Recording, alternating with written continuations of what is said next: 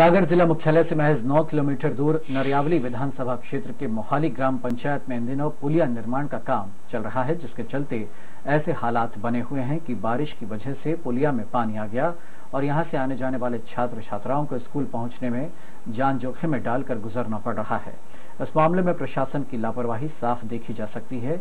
जिस जगह पर पुलिया निर्माण का काम चल रहा है, वहाँ पर डायवर्शन रोड उचित ढंग से नहीं बनाया गया है, जिसके चलते ये हालात बने। हैं।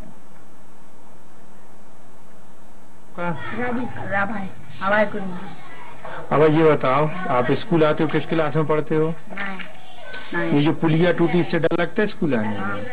क्यों? पानी मिलता डर लगता है। काय का? नहीं जा सकते।